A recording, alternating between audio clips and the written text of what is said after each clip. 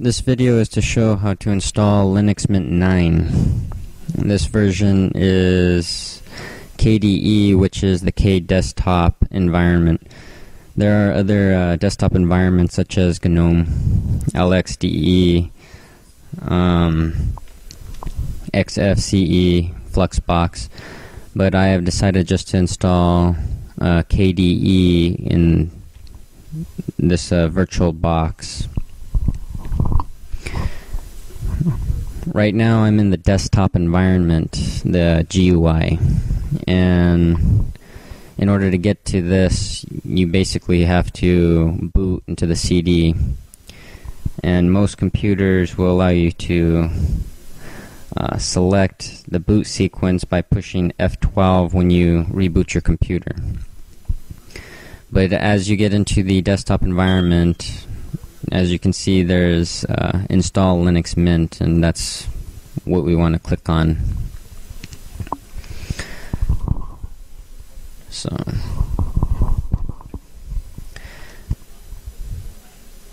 I uh, personally prefer using GNOME Edition or the GNOME desktop environment. Um, KDE is is really nice and everything, but it's somewhat alien to me. So this is just basically to show you how to install uh, any Linux distribution. If you can install this one, you can install basically anything.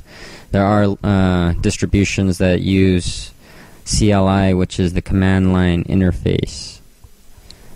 And that can become a bit confusing, but Linux Mint is a derivative of uh, Ubuntu, which uses a graphical user interface installer.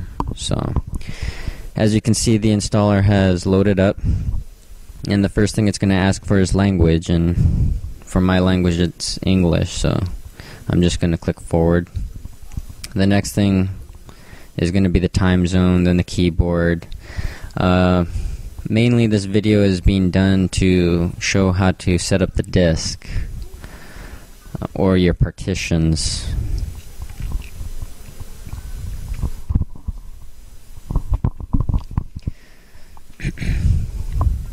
My time zone is correct, so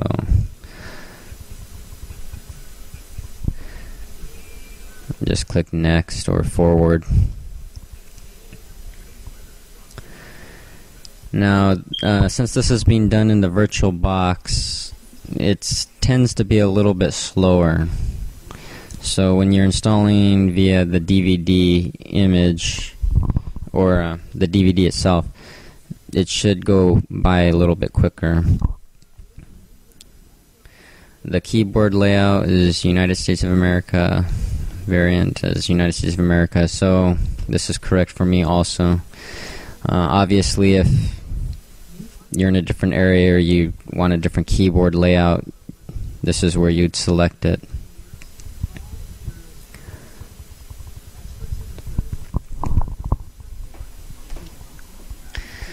Now,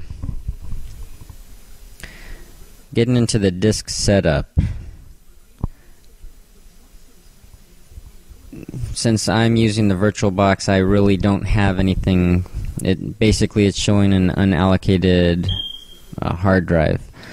So it's just giving me two options: erase and use the entire disk, which is uh, simple to do, and it's basically the Windows way of doing things.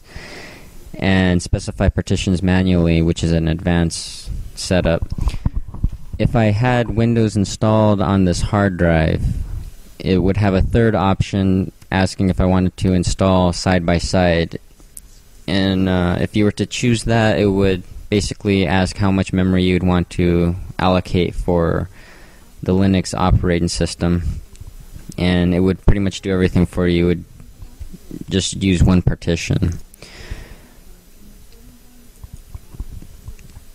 But when installing Linux, it's actually best to separate your partitions, to separate your home folder into a different partition from the root folder and whatnot. but uh, I'm just going to show how to do a very simple uh, partition layout. So since this is an unallocated hard drive, uh, I have to create a new partition table. If Windows is already installed and you're completely wiping Windows out, it would already be there. And uh, if you're deciding to completely wipe Windows out, you would just create a new partition table as I had done. Um, free space. The first thing you want to do is you want to create the root partition. And the root partition has everything in it. It has your boot sectors, it has uh, anything that you don't specify outside of it, it will be within it. And I'm just going to give it around a little bit less than 4 gigabytes. So extension 4 is a, a good file system. And forward slash stands for root. Uh, if you don't know what it is, you can just click on the drop down box and select it. Now, the reason why you want to do this also is separating things. When you reinstall, or if you're upgrading to another Linux distribution, you will go through these same steps again. But the difference is what you would want to do is you would want to format, as you can see, there's a format, the little checkbox. You would check the ones that you want to format, which would be the root and the temp, the temporary uh, partition. But your home partition is the one that you want to make sure that format is not checked. So your data will be untouched. So that that's one reason why we want to separate the partitions and the directories on different partitions. Now the second thing you're going to want to do, we'll give it around 500 megabytes. We'll make it illogical, and it has to be the swap. The swap area, normally you'd want to give it around a gigabyte to two gigabytes, which would be uh, 1,000 24 megabytes for a gigabyte and 2048 megabytes for 2 gigabytes. There is no mount point, it's the swap area, so. But this being a virtual box, I really don't have much memory to play with.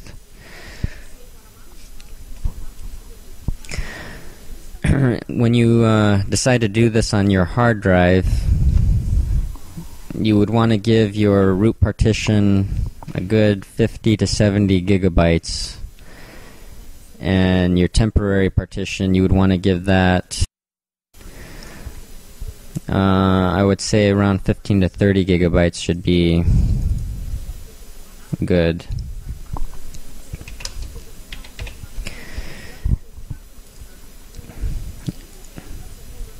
Extension 4 again, temporary.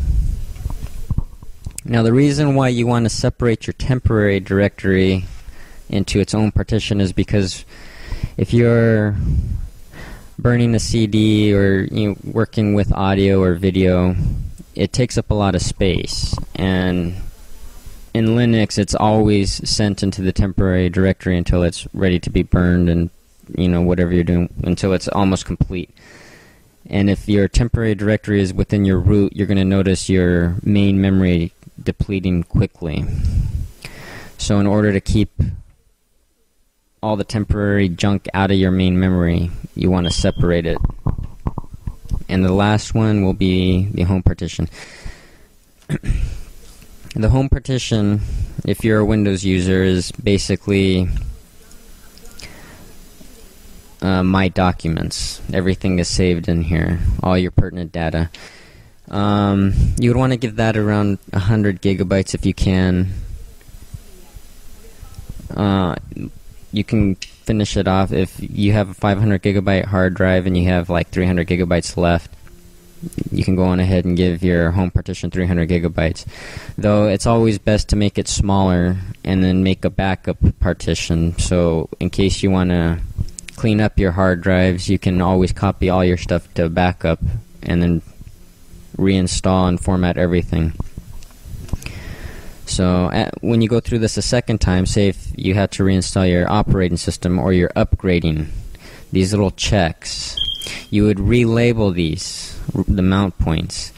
But for the home partition, you're going to want to make sure that that is not checked at all. So, just a little reminder. The user information is basically going to ask for username and password.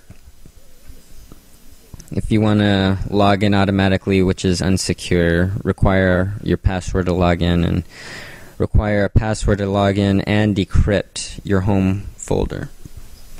That's if you want extra security. Basically, if anyone puts a live CD into the CD-ROM, they can see whatever's on that hard drive. But if you encrypt the hard drive, encrypt your home folder, they won't be able to see anything. So.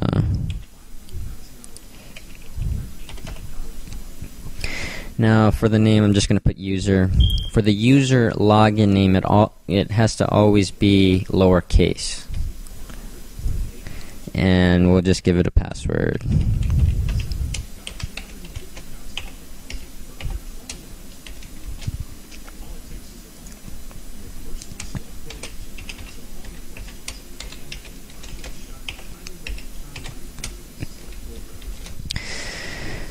Now, the name of your computer, the reason why you'd want to give a name to your computer is because if you're on a network, you'll be able to log in remotely if you set it up properly. So we'll just say uh, KDE dot virtual.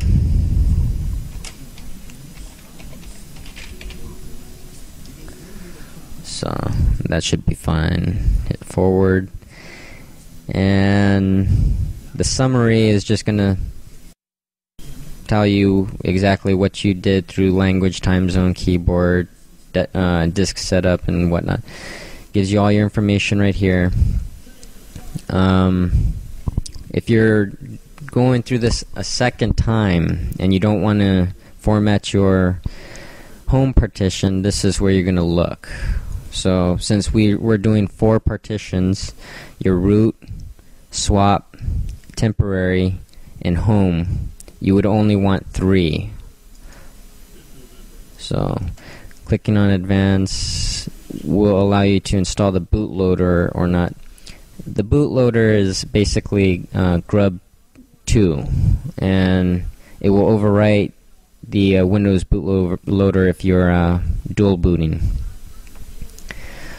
So, if you decide that you don't like Linux and you want Windows instead of dual boot and you just want to send it back to Windows, you can't delete the partition, the Linux partition, if you installed the Grub 2. Um, before deleting the partition, you would need to actually have the Windows installation disk on hand so you can fix the uh, master boot record in the hard drive. So just to let you know, a lot of people make that mistake.